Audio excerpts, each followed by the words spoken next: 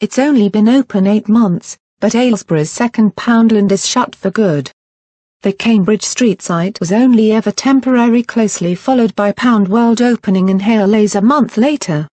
Poundland can confirm its Cambridge Retail Park store is closing.